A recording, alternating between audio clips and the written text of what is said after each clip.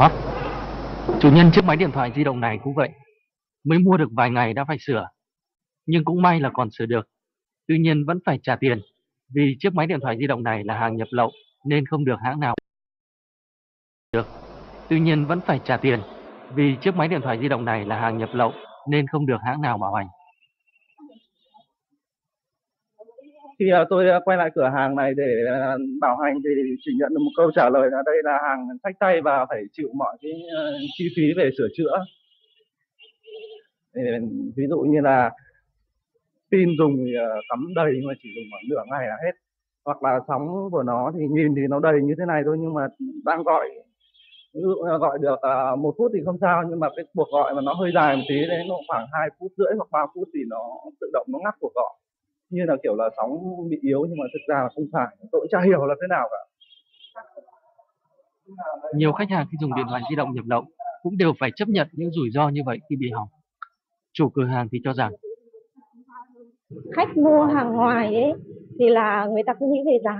Đấy cứ rẻ hơn năm bảy trăm là người ta mua.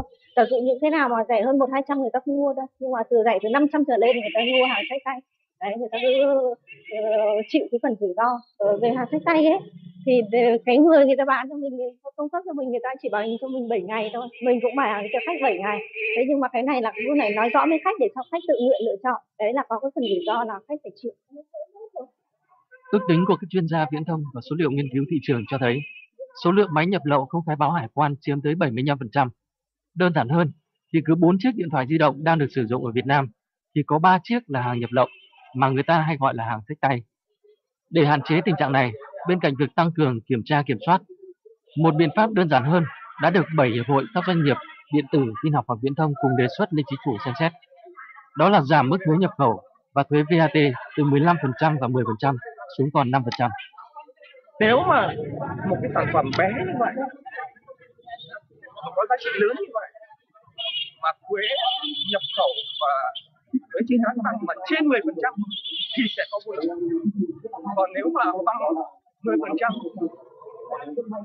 thì là cái không hầu hết cái hiện tượng buôn lậu à? sẽ chấm dứt cái gì. Buôn lậu nó cũng tốn phí buôn lậu. Phí đó là cỡ tại bảy phần trăm. Cho nên nó mất toàn bộ hấp dẫn buôn lậu.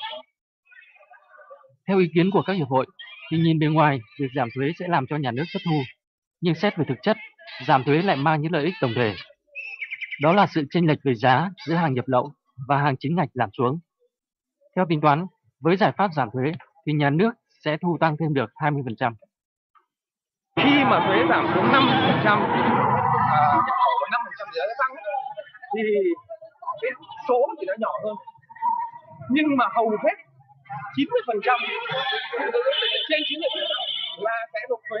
Và vì nó nộp thuế đầy đủ cho nên cái thu thuế nó tăng hai như vậy với giải pháp giảm thuế xét về mặt lý thuyết sẽ giảm bớt được tình trạng buôn lậu đảm bảo môi trường kinh doanh lành mạnh hơn giảm bớt gánh nặng cho các cơ quan kiểm tra kiểm soát tạo nên một cú hích thúc đẩy thị trường viễn thông phát triển tất cả những điều trên còn phụ thuộc ở mức thuế 15% hay 5%.